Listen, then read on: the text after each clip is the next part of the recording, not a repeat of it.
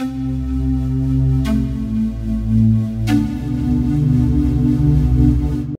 welcome back to Gator Snapper Playthrough Fran Bow, where the mystery continues. We came back to reality from fucking God knows where. Probably just me tripping out in the middle of a ditch.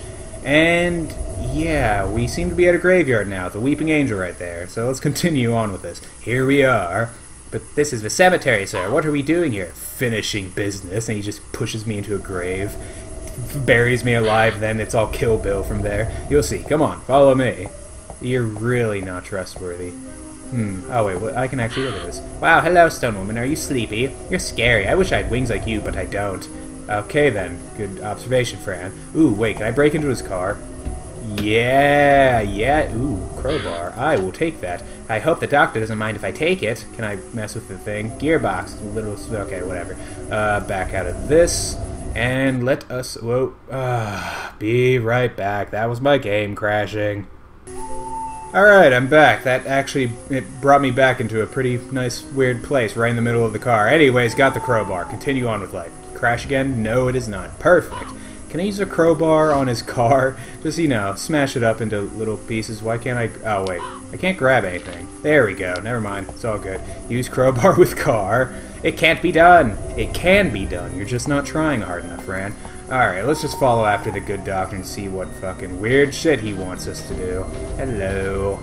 This is your parents' resting place. And also yours! It's a fucking Ghost of Christmas Future uh, right here.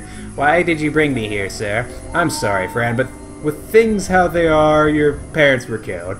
I didn't quite read that right. Knowing who killed them can help us make things right. So we're gonna fucking unbury them. Or dig them up. That sounds better than unbury. What do you mean by right, sir? I mean that if we can find the guilty ones, we'll have justice. Use the law to punish such behaviors and prevent others from being harmed. I understand, sir. Isn't this kind of like vigilanteism? No, okay. And for what did you need my help? To find clues and evidence. We need to open the coffins. You know, grave robbery. Alright, sir, I'll help. Maybe the deedle, deedly worms that came already. I'm gonna just call them the deedly worms. Sounds better than deadly. Who? who? Uh, whatever. Anyway, we have to find shovels today.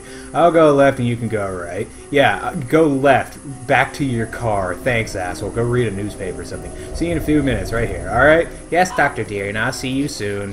What a fucking weirdo. Look at his walk. He's so stupid. Alright, continue. Oh, wait. Uh, ooh. Oh yeah, what do you know? That is definitely me, Doggenheart. That is such a cool last name. Doggenheart. Can I take the teddy bear? Can I take anything? No. Okay, cool. Probably very... Oh, is this for the bad smell? Oh, wow. Damn, Fred. Really brought that fucking... Red roses for rotten bodies. Ooh, that actually sounds like a good name for something. Don't know what yet. No name, no flowers. Maybe nobody's down there. She is very pleased with herself for making that observation. Okay, can I mess with this? Oh, it's stuck. This must be the shovel storage room. Just my luck. You have a very convenient shovel storage room. Well, I have just the thing for such a thing. Fuck you, do door. Oh, did that work? Oh, oh, it's one of you guys again. Shh, you have to keep it down, Fabio. Uh, oh, but I'm not Fabio. I'm Fran. Hello, little pine cone. What? Oh my goodness, a giant. No, well, I mean, I guess. I don't know, there's so many different iterations of giants, I guess that could be a giant. Oh, please, don't be scared, I won't harm you.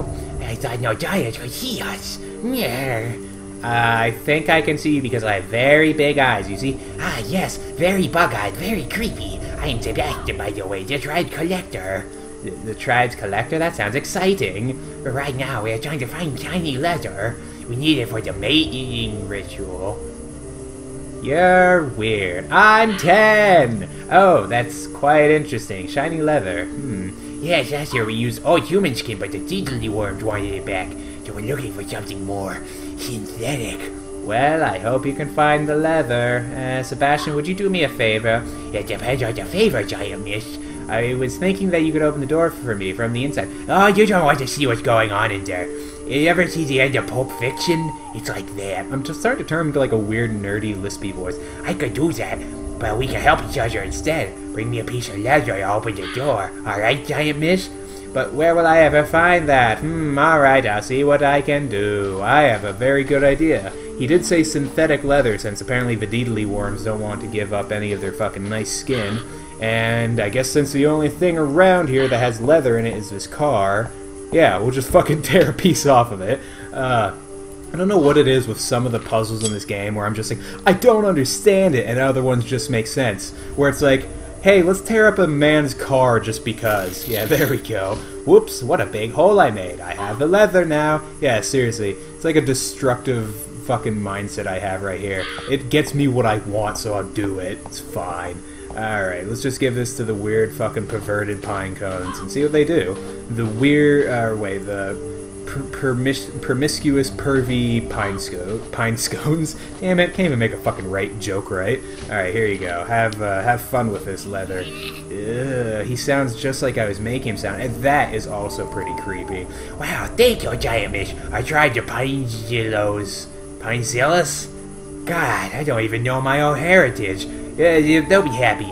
And now open the door just a second. Yeah, uh, there you go, little miss. Why didn't I just break it down with the crowbar? Aww, it's kind of adorable, but also disgusting. Because they're gonna mate like no one's business. Ouch! Are you alright, Sebastian? S Sebastian? Oh, he's fine. I was gonna hit him with a crowbar to make sure he's not dead. I mean, uh... I'm alright, miss, yes. G good, well, thank you. You opened the door. You're welcome, Giant Miss. Eh, Fabio! Oh, are they gonna go? Oh, they're gonna get right down to fucking. I gotta see this. I wanna see how Pinecone's made. Oh, I have to go, Miss. Good night. Hey, Fabio, wait for me. I have the ledger. So, I guess. God, that is so weird to watch. I'm guessing they're just some weird BDSM shit. I just realized. I'm in the real world and I saw that kind of shit. Something is very odd here. I don't. There's nothing in here I could use. You serious? Not wonderful at all. I need to find something to dig with. Ah, I can't dig with a broom. So, the noise that I assumed was his footsteps as he was running away, is that is that them fucking right now? They just doing doing the dirty nasty deed right over to the left? Let's check. I want to see this. Be funny. Oh, good. You found. At least you were successful at finding us. Look, Frad. There you are. Found a Frad pair of shovels. Let's dig. I only saw the one, but oh god, I actually have to help him. God, mommy and daddy, are you down there? I'll see you soon. You always forget just how crazy this girl is. Alright, let's just help Bill do that. There we go. Hey, we found the treasure chest. They're kind of not all that far buried down, are they? I thought the general rule was six feet under. That is less than a foot. That is very disrespectful. Well, now we have, we'll have to come up with something to open the coffins. They're stuck. I had a crowbar in my car just in case, but I couldn't find it. Oh, I took the crowbar, sir. I need it to open a door. You want it back? No need, Fran, but you can do the honors opening the coffin. Don't say it like it's a fucking awesome thing I'm doing. We're grave ro grave robbing on my own parents' graves. I'll open them. Jesus, I have to do all the work around here. Fucking pop that. Uh, well, let's do one at a time. Oh, wait. Oh, wait, hold on. Uh, bop, bop, and ha. Ooh, hey, Dad. How you doing? He doesn't look so bad. He doesn't look nearly as decapitated as he was before. Oh my goodness, Father, the deedly worms took your eyes. I wish you could talk and tell me who took you away from me. Was it the big bad monster, Daddy? Uh, let's see what Mom has to say. Open up, Mom's just like, Fred, you were a bad child. Hello, Mom. Oh, Mother, you're so skinny. A bit too much, I would say. But I guess you would take that as a compliment, wouldn't you? Is the bed comfortable? Well, sweet dreams, Mommy. I mean, at least her craziness gives her, like, this option of seeing her dead parents in, like, a, a lighter sense, I suppose. And also, they're really not chopped up at all. Although, then again, I guess that would be the job of the, uh, what do you call them? The, the grave preppers, or the body preppers, to make them look, you know, not horrifying. Oh. That's not a... Is that what I looked like as a kid? Jesus, what is, is that, is that like a... Oh, it's a cat.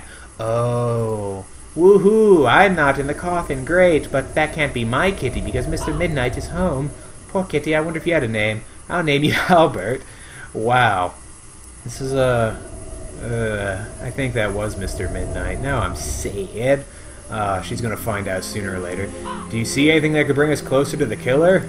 Uh, no, sir, I just feel really bad doing this, seeing my parents like this. Yeah, good. That's something a normal child should feel. I know I was just complimenting her on not feeling that way earlier, but whatever. Also, that dead cat's not my cat. They're lying! F Fran, I told you, your cat was missing and maybe this one's actually your cat. It can't be, sir. I did find my kitty. You have to believe me. No, you're fucking crazy, Fran. Take me home and I'll show you, please. All right, Fran, I'll take you back home. I'll take care of this later. I still need to find some clues. Thank you, sir. So let's let's go. So we gonna rebury my parents or something? Okay, bye. All right, cool. I guess I'll just fucking leave this be as well. Awesome. God, this is such a shit. Like the reality of this situation would be so fucked up. God, anyone that's like Fran, I am so sorry. Jesus Christ. Oh, oh wait, no, no, no, wait, wait. Whoa, whoa, whoa, whoa, whoa, whoa, whoa. What is this? This has implications. Dr. Deern was just taken out of reality. Uh, but no, it could still be just a trick of Fran's mind. Trying to really, really, I should continue on with the fucking plot of this. This is the one voice from long ago I remember. Vanished into the hands of darkness. You have no manners. I'm not afraid of you anymore. Because I just really wanted to bring up the fact that you had no manners. I've taken away from you the light, the one you love, the one you respect, and the one you desire to love you. Who are we talking? I don't know who who at all you're talking about at any turn of that conversation. Oh, well, I guess he's going for me now. Oh, my soul. Oh, Jesus. Oh boy. Did did I lose? Did I did I die? Did I fuck up? Did I fuck the dog? Fuck the pooch? Oh, cool. Next chapter, I guess. Huh. You broken little girl. Oh, there I am. How you doing, Fran? The House of Madness invites you inside. I mean, it's not really a house, more of a bird cage, but uh, I think you'll find it pretty comfortable. Oh, Jesus, girl, what happened to your chest? If you want to find those you love, uh, in darkness you must wake up. I, if I click this, does it skip the whole thing or just the fucking very slow dialogue? Wake up now, Fran. Wake up. Why am I telling you to wake up? That seems to be against what I'm wishing for. Uh, then again, I guess if you realize a shitty situation you're in, I'd feel pretty good about it. The House of Madness with all fucking proper, get it properly punctuated. It's bothering me. I write a lot, and that uh, did it. Okay, good. I thought it was crashing again. Oh, this is a normal. Oh, but I'm chained up. Huh. Weird. Also, her arms look very creepily, creepily long right there. Aunt Grace, is that you? My darling, you finally woke up. You're at home, my dear. Am I really? That's incredible. I'm so happy to see you. Please give me a hug. You know, af- after you unchain me? Soon, my darling. And wh- where's Mr. Midnight? Your, your cat? Well, you know, he ran away after what he did. Well, he ran away, but what did he do? Well, your cat killed my sister and your father. He is a traitor. Are you? I thought I was crazy. You're talking about a cat killing my parent? No, you're just fucking crazy. That's not true. It can't be true. He didn't do it. It's like the end of this uh, sixth Star Wars, no, fifth, fifth Star Wars movie. Uh, anyways, it doesn't matter if it's true or not. In the end, we must have a guilty one, right? You mean a scapegoat? Those are fucking terrible. Because then the real fucking killer is still out there, you stupid woman. But you can't blame Mr. Midnight. He is my best friend. But it's easier to blame somebody else than taking responsibility, isn't it? I'll always take responsibility for my actions, even if they're not so good. What a good girl. Rest now, my darling. You'll need it. But, but, oh, Grace, don't, don't leave me. Why am I chained to the bed? Because your hands do bad things when they're untied. What are you talking about? Uncuff me now. I have to go find Mr. Midnight, and I really have to go to the bathroom. I will make a mess here with no fucking qualms. Little, little shining friend, don't you worry about the lies. Seeker of truth will always die because the evil will never hide. Little, little shining friend, go to bed, sleep tight. You're really creepy. And forget the pain inside your mind. You were selected to suffer, to cry and hate, but the darkness wants to free you from all disgrace. Sleep tight, my darling friend.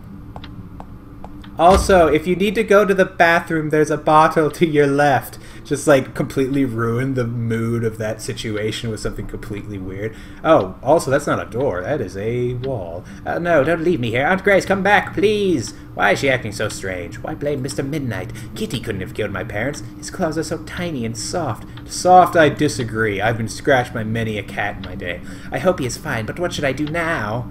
Actually, that's a very good question. Tick tock, tick tock. Crazy sound, it never stops.